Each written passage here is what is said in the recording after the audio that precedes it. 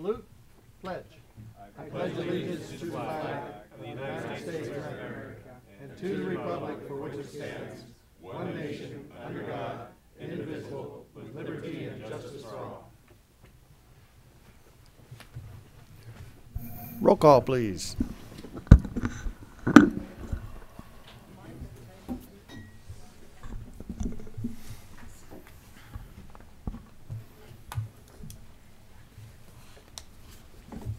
Ione.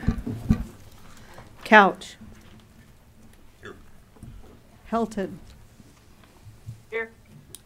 Blades. Crump. Here. Warney. Here. Crier. Here. Navarro. Here. Crichton. Here. Para. I'm here. Prout. Reyna. Here. Scrivner. Here. Bob Smith. I'm here. Phil Smith. Here. Vasquez. And Mario. Here. Thank Thank you. you. Public comments. This portion of the meeting is reserved for persons to address the committee on any matter not on this agenda but under the jurisdiction of the committee. Committee members may respond briefly to statements made or questions posed. They may ask a question for clarification, make a referral to staff for factual information, or request staff to report back to the committee at a later meeting. Speakers are limited to two minutes. Please state your name and address for the record prior to making a presentation. Do we have any public speakers? Seeing none, I'll move on. Consent agenda opportunity for public comment is the same. Any public comment for consent agenda?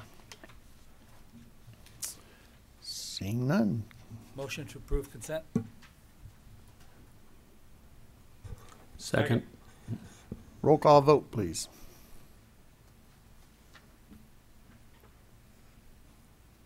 Couch. Yes. Crump. Yes. Warney. Yes. Crier. Yes. Navarro. Yes. Crichton. Yes. Para. Yes. Reyna. Aye. Scrivner. Aye. Bob Smith. Yes. Phil Smith. Yes. And Mario. Yes. Thank you. Moving along, Caltrans report. District six. was fast today. Good evening, everyone. Thank you, Chair. Michael Navarro with Caltrans. A few updates. Just want to give the reminder of the last call for the Clean California grant cycle. Those applications are due April 28th. So I encourage you, encourage you to get your applications in. Also, similar to last year, USDOT put out their notice of funding off, notice of funding opportunity for Safe Streets and Roads for All program. Uh, that's a program that Caltrans cannot compete for, but your local agencies can and going after um, project support, and ped safety. I think last year they awarded nationwide about 500 projects and gave about 800 million dollars. So um, we also did, if you have, a, if you're interested in applying for one, we did do, send out a call to all of our local partners for letter of support process. If you need a letter of support from Caltrans, so that should have circulated to your cities and the county as well. Also want to thank um, this region for their participation in our Caltrans Transportation Planning Grants. Uh, we received 16 applications in our district, and four of those did come from uh, the Kern County region. Um, and I, I think they'll all compete very well. They look like good applications, so keep our fingers crossed we can bring some money here to Kern County. Um, also, uh, this week is National Work Zone Awareness Week. Um, and the following week is Caltrans Safety Awareness Week.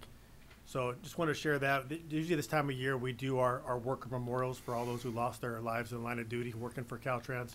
Um, since 1921, there's been 191 who have lost their lives. And so we have a ceremony. We put out cones representing those individuals. And unfortunately, we are adding two cones this year. We did lose two employees, uh, one in the District 4 area and then one actually from our District 6, Ali Shabazz, uh, lost his life. They both were census. That one involved a DUI driver and one involved uh, someone running a stop sign. So um, we'll be having our, our remembrance at the state capitol on April 27th, and we'll be actually having one here in uh, the Bakersfield Region office on May 12th, ceremony for that.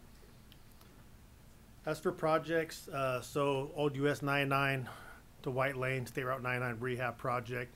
Uh, that project is currently still in construction, and expected completion date for that is fall of 2023.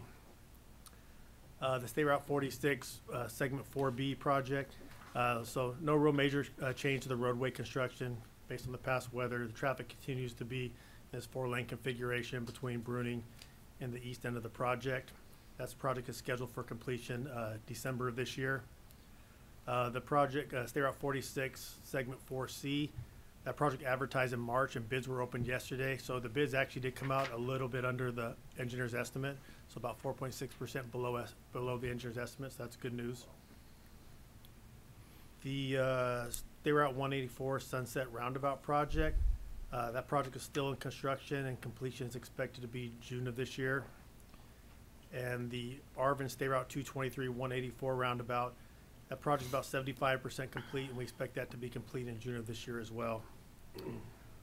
Um, Also, we'll be starting on some projects along, along 184, some of these rehab projects that will address other complete streets elements. So the Morning Drive Rehab Project, um, our construction allocation requests will be submitted for the May CTC meeting. And then we're also working on the Weedpatch Highway three R rehab project, which will be a pavement rehab as well and complete, and include several complete streets elements. So that project is currently in design phase. We expect that to be ready to advertise, um, by this fall. And with that, that completes my update. Be happy to answer any questions you may have. Any questions for Michael? Go over those first two, Clean California and the other grant. Yeah, What, so what Clean- were Clean they California- actually for? Yeah, so Clean California, that um, started last year, was the first year, and the, so there's two elements to it. There's the Clean California projects, for example, the Union Avenue one that Caltrans is doing, which is a Caltrans project. And then there's also the local grants program. Last year, I think it was about three hundred million dollars that went out. Um, we had several successful applications in our district. I think about fifteen were awarded. There were a few in the Kern County region as well. I, forgive me, I don't remember off the top of my head right now, but I, I know Shafter and a couple other locations did receive grant funds for that. So this is cycle two. There's hundred million this year, um, statewide. Not quite as much as last year, um, but the applications are due April twenty-eighth.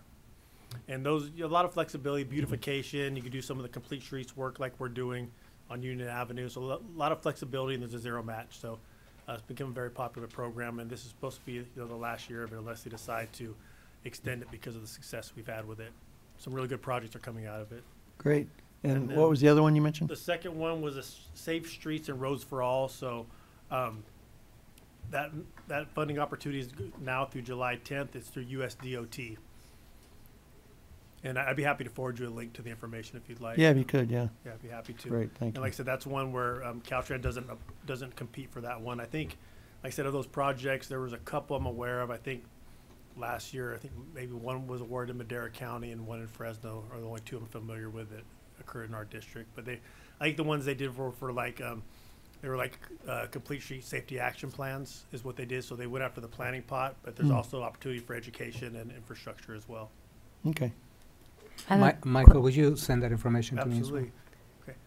And what was the, the funding amount for that last one? I don't know what the minimum ask is or maximum ask is for the Safe Streets for All. The uh, Clean California, there's a five million dollar cap for those, but um, if it's okay, maybe I could send it out to to uh, to Kurt staff. They can circulate to all the all the um, board members. I can send it for both programs. Right, I know Wasco is applying for the second, Excellent. yeah. Excellent. Good. We got, we got, we got five million dollars the last time, Excellent. thank you.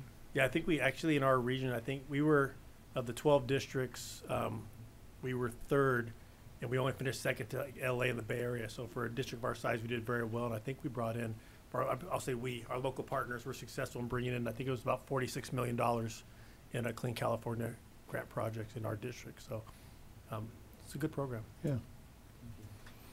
I have a question real quick.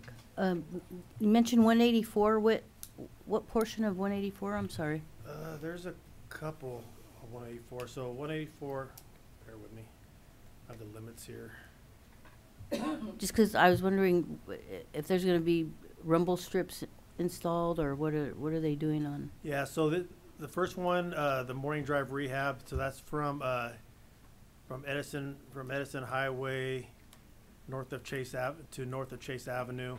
So, um, that project is gonna basically include a lot of ADA improvements, uh, sidewalk, curb ramps, continuation of the bike lanes in both directions within the project limits. And address a lot of the, the, the poor pavement, et cetera. I don't know if it fully addresses some of the flooding issues, but, and I'm not sure to your question about the rumble strips either. Okay.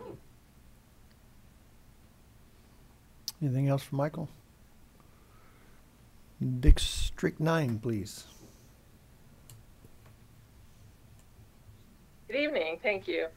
Um, I just finished up a meeting with the Department of Water and Power over here to talk about the amount of expected water uh, to be showing up on our highways in the next few months. And someone said that we are in the 110th day of January, so I, I thought that was pretty funny. But um, in anticipation of potential emergency damages resulting from the recent and coming storms, our district local assistance engineer sent out what we're calling a proactive refresh, refresher with links to resources on emergency relief programs and the process for immediate opening, permanent restoration, and reimbursement requirements for emergency projects. Um, so I'm sure that will be useful in the coming months. As far as project updates, we have the Rosamond Rehab Rehab 2. Um, it's a project initiation document that we've got in progress and we'll have public outreach during mid-April and through the month of June. So that will be coming soon. The Cummings Valley Road intersection project um, paving was completed on February 21st, and so the remaining work to complete the project will be done by, uh, it's anticipated by April 21st. We have Freeman 3 Cap M. Uh, the contract was awarded on February 9th, and construction is anticipated to start in May. It was awarded to Griffith Construction, and they're looking at 60 working days, and so the construction should end around July. We have an emergency project um, located on State Route 58 to do emergency slab replacement, uh, located between Keene and just east of Tucker Road. And then uh, we had a virtual public meeting on Tuesday, the 11th, for the State Route 58 truck climbing lane, and our public comment period for that ended yesterday, the 19th. And so we'll be wrapping up that environmental document in the next couple months. And that's all I've got. If you've got any questions, I'd be happy to answer them. Thank you. Supervisor Scrivner. Uh, Thank you. A question I received from a constituent, um, they were asking about the closure of the Boron Rest area eastbound. That's um, just west of Borax, the Borax Road exit, I believe. Yes. So do you have an update on uh, why that's closed and when it's, when it'll be open? Um, I think it's closed because uh, they're doing some uh, pipe work, uh, and I don't know if it's sewer pipe or water pipes or, or what type of, of work that is. And I think it's going to be several months, but I can get the exact time it'll be closed for you.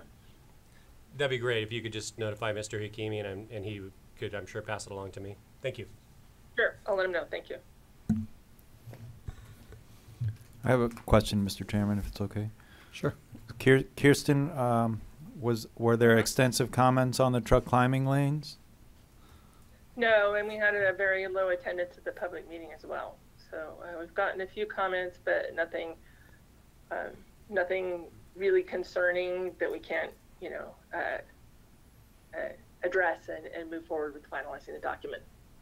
Okay, thank you. And the, uh, emergency, uh, slab replacement on fifty-eight, what's Yes. the timeline on that? That should be starting in the next few weeks, and I think it will be um, just, I believe it's just a two or three weeks of construction time. Do you want to know the construction length? Construction just the- length and, and the, uh, the dollar amount? Okay. You I can give send that to me. Thank you. Councilmember Smith. No, that was the questions I had. Oh, Thank you, okay. Chris- Kristen. Thank you. Any other questions? I just, I have a comment real quick. Sure. I was in a meeting this week with, I think that Miss Pacheco organized with local assistance, Caltrans. Um, I think the culture at Caltrans is, has, is changing, has changed. Y'all are very helpful. Um, I thought the meeting was very, um, was very helpful, and I thank Ms. Pacheco, if you're the one who, who got that, the folks together in the room. I think that was, it was very helpful for them to hear, uh, our issues, comments, concerns. And, uh, yeah, I just, I, I think, uh, working with Caltrans now is just like night and day, seems like. So, thank you. On my end, Thank anyway. you. I'm I sure Raquel hearing is a little, she gets Thank you. something different, but. No, thank you. I, pre- I appreciate you sharing that. Means a lot. We're, we're trying. We know it's, it's a challenge working with a big department like ourselves and doesn't move as swiftly sometimes, but, um, happy we're here. And like I said, if we ever need more, more focused conversation on anything project specific or anything, please feel free to reach out anytime. Appreciated. That will adjourn that meeting and start the Kerncog meeting. All right, one.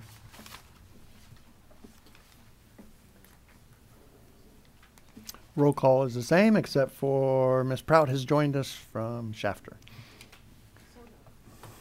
I was at the Air District meeting, Special City. Thank you. Uh, public comments. Seeing none, consent agenda. Public comments for consent agenda. Seeing none. Can I have a motion? So move. Or second.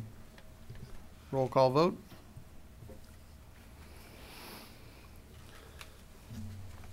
Murillo, Yes. Phil Smith, Yes. Bob Smith, Yes. Scrivner, Aye. Reyna, Aye. Prout. Aye. Crichton, Yes. Crier, Yes. Crump, Yes. and Couch. Yes. Thank you. Thank you. Final overall work program, Montalvo.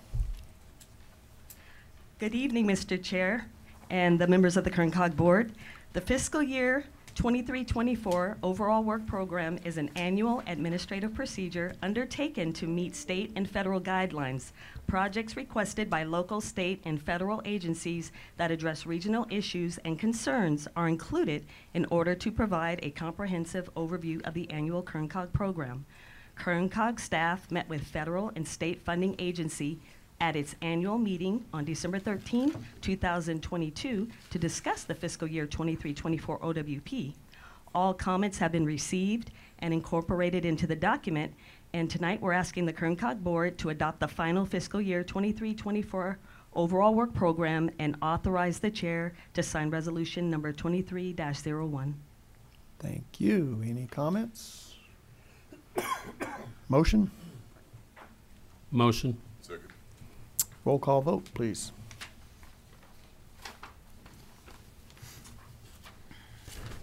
Couch, Yes. Crump, Yes. Crier, Crichton, Yes. Prout. Yes. Reyna, Aye. Scrivner. Aye. Bob Smith, Yes. Phil Smith, Yes. and Murillo. Yes. And who made the motion? I'm sorry, I didn't catch it. Thank you. Thank you. I think I skipped over executive director's report, so you can do two of them. Thank you, Mr. Chairman. Uh, One is very short, so I will combine them. Um, Last, last month, if you remember, um, the chairwoman of the CTC joined us. Less than a week later, the CTC met in Los Angeles on March 22nd and 23rd. Uh, Most significant thing to come out of that meeting was their executive director resigned at the end of the meeting unexpectedly. And uh, Tanisha Taylor, who is a veteran of um, San Joaquin Valley COG and um, CalCog, is the uh, interim executive director and is likely, in my opinion, to be appointed the permanent um, executive director. I'll, I'll let you know when and if that happens. Um, Some of you have uh, participated over the last couple of weeks, in fact, April 12th and 14th, and maybe even outside those dates in our federal certification visit by Federal Highway Administration and Federal Transit Administration. Thank you uh, for all of you who participated and all of you who are not here uh, who participated. Some of you were interviewed individually and some of your staffs were interviewed. The preliminary results are that we have passed, although they don't use that, that term passed. Uh, so thank you all to all your agencies and the staff here for getting us through that. And as a reminder, that's every, every four years. The final report won't be issued until August, and when that comes, I will share it with you. Over the past uh, month, I've continued having meetings on State Route 99 and 58, Union Avenue, 7 Standard and 43, uh, safety improvements on Route 33.